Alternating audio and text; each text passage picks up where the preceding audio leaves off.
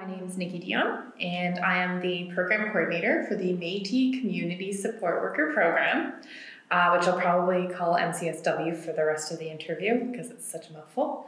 Um, and my role is to support the students. I advocate on their behalf, I connect them to supports, I help them navigate systems. I also provide some funding support like childcare and uh, gas and grocery uh, support, and I keep their kitchen and pantry filled on campus.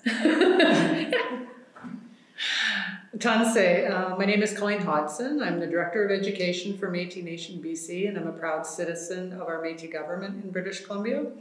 And my role with the CSW program is to work a lot with the instructors and the curriculum and just talk about what that looks like and what the Métis pedagogy uh, could be and is throughout the course. So a lot of work with the instructors and a lot of work with Nikki. Before I came on board, uh, the Ministry of Youth, and collaboration with some of the other ministries with Métis Nation British Columbia, um, conducted a gap analysis. A survey was sent out to uh, Métis citizens and people on the MNBC distribution list, um, and basically asked things, you know, your regular demographics questions, um, but also what's the highest level of education you've received. Um, there are a lot of Métis with a lower level of education, and so uh, we wanted to kind of gather some of that information. and one of the questions that was asked was that um, if you were offered a program, what kind of program would you like? Would you like something in the sciences? Would you? Uh, and the resounding response in general was something in a support role. Uh, a lot of Métis are nurturers and want to help people.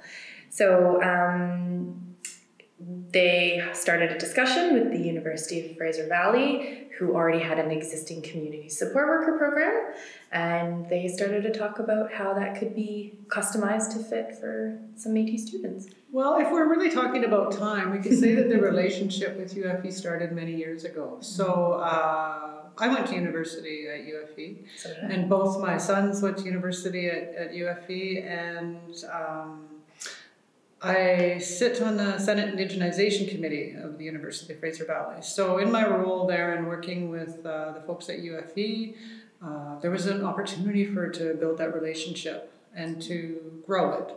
And so when we were talking about the program and then we were looking at, well, gee, where's a place we could host this cohort and who could be partner with? And UFV came to mind. So the meeting started, the relationship was strengthened, and here we are I don't think the original aim has changed. I think the the general uh, hope for this program was to provide an educational opportunity um, to uh, to offer to Métis people, but also to provide them with um, cultural support uh, a lot of Métis people, a lot, a lot of Métis people don't find out until later in their lives that they are Métis unless they are lucky enough to practice uh, through family members uh, throughout their lives. And so um, part of what we were hoping for was to help what we call bring them home. And uh, so to offer these cultural experiences to Métis people who maybe have just recently found out that they're Métis. Um, as well as providing them with the skills that they need to be successful in uh, higher than minimum wage opportunities. Um, again, because of the low level of education for many Métis in BC. So, um, so that aim hasn't really changed, but the delivery has.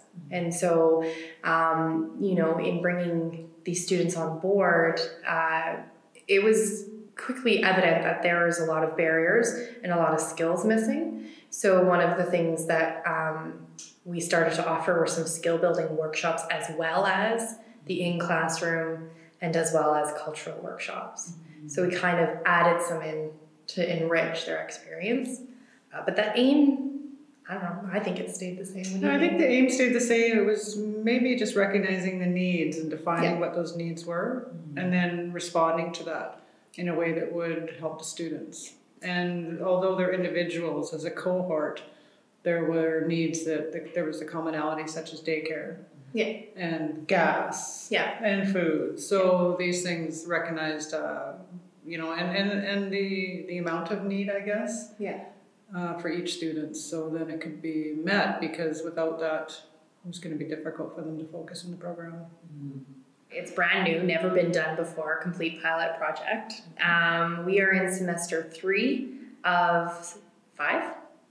Yeah, so we are pretty close to the halfway mark actually. Yeah, so semester one was uh, summer 2018, and that was an opportunity for upgrading. So, all the students, no matter what their level of uh, education um, was coming into the program, were put into upgrading, and um, so that those that perhaps only had a grade eight level of education were able to come up to the standards required for university and to help those that maybe had that to brush up and remind themselves also what it's like to be in school. And then um, the fall semester last year, they started their foundational courses, the kind of getting ready for university courses. And then now they are in the thick of the community support worker courses. Uh, they do that for this semester and then summer 2019. And then in fall 2019, they will do a practicum uh, in a community support worker role, and then they're done. Yeah, so the finish line is at the end of December this year, convocation June 2020. It's very hard to measure this program. One, because there's no previous measurements to kind of fall back on, and two, because, yeah, like how do you define a success? Um, so, one of the things that me and our uh, uh, policy analyst and, and the individual that is on my team that's really, really good with evaluation and reporting, we talked a lot about it. And so what we ended up coming up with is um, we do have like a tangible, uh, quanti- like quantifiable evaluation that's conducted at the end of every semester. And in that, we ask, you know, please rate your uh, overall health in a number of different areas over the semester financial, relational, cultural, mental, physical, uh, and rate your overall satisfaction. Can you tell us what workshops were most meaningful for you, all in a ranking system? But I also have uh, experience being a community support worker myself, and so I know the importance of having that person to person interaction. So every semester, I also sit down with the students and have uh, an informal check in. Uh, and so I have a list of questions that they get beforehand. And so I ask them things like, you know, how are things going? What areas do you need support? What areas are going well? What can we do to make that better? Kind of stuff. Um, so I think that in in the end of it, we'll see success as here was the baseline when they came into the program and where was the improvement. And then also there's the regular educational based success markers like grades, graduation, student retention. Um, so I think that that's how we're going to know if it's successful.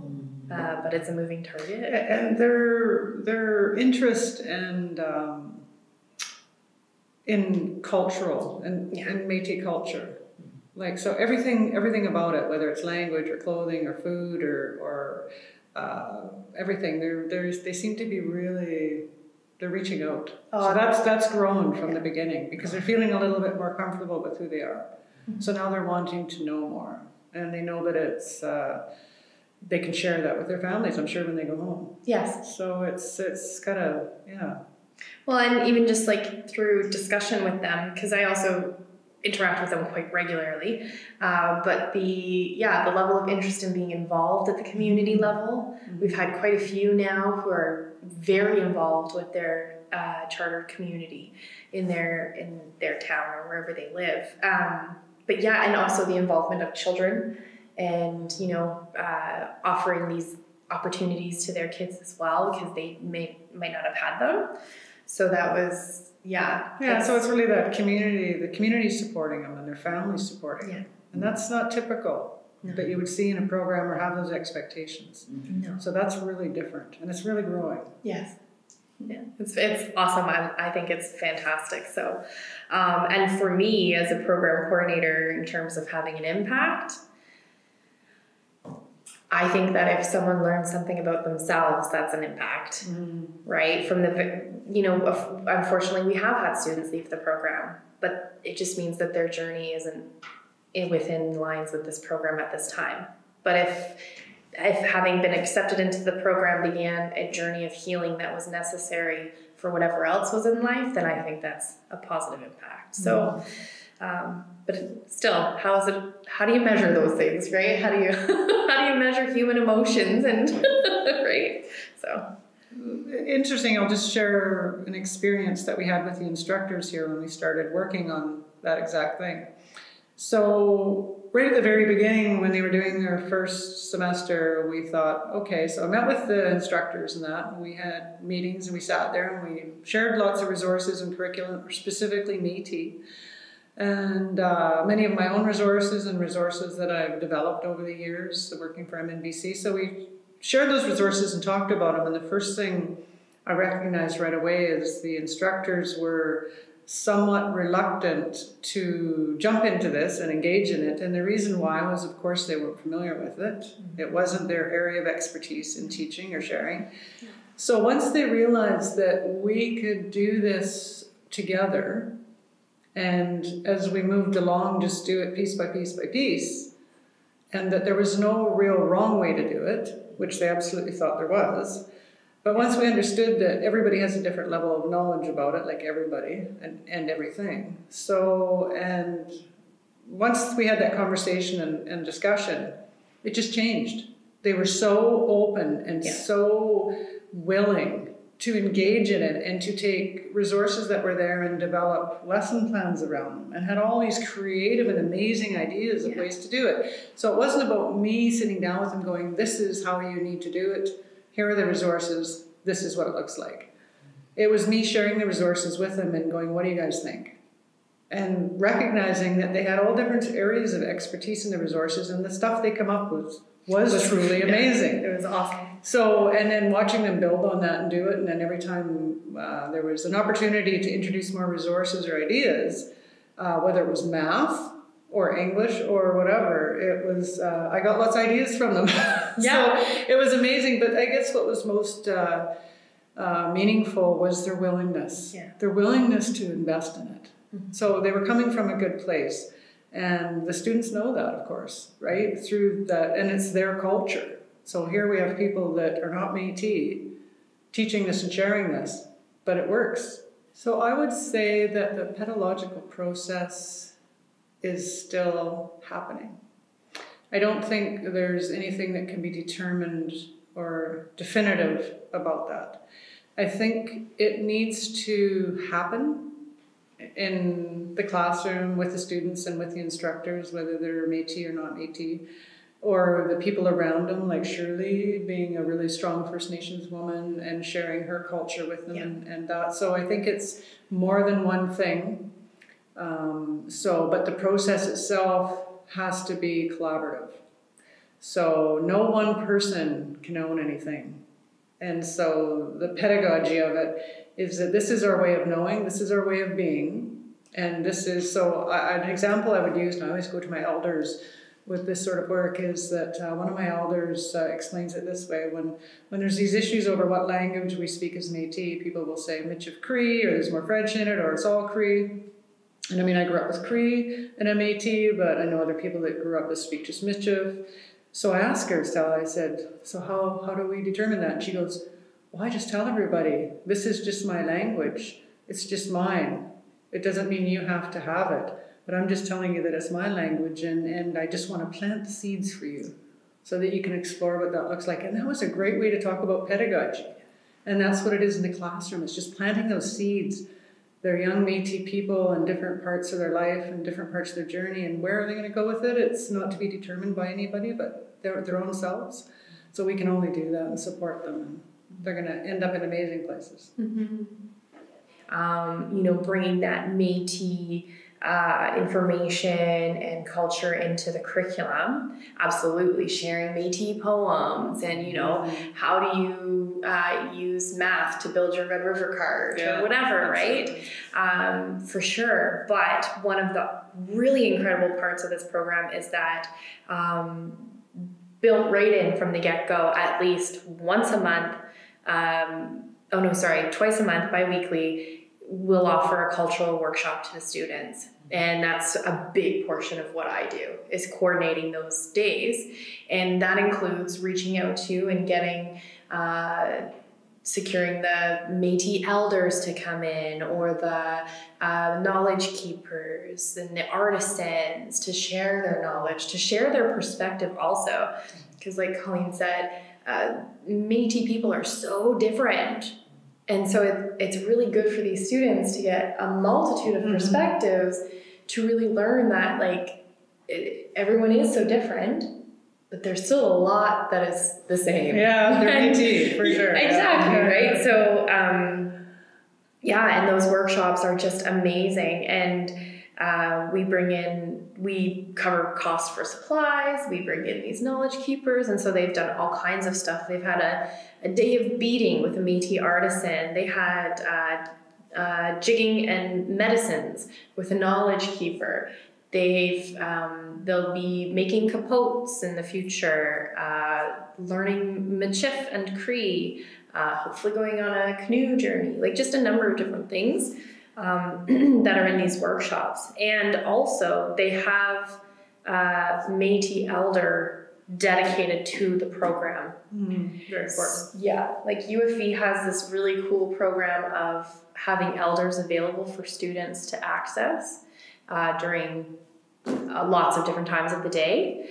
And uh, we worked together to not just bring on board more Métis elders, but that we have one that specifically focuses on these students and spends a lot of time with them. And I think that's a huge way is, yeah, of absolutely. us. So yeah, it's and and they're invited to community events.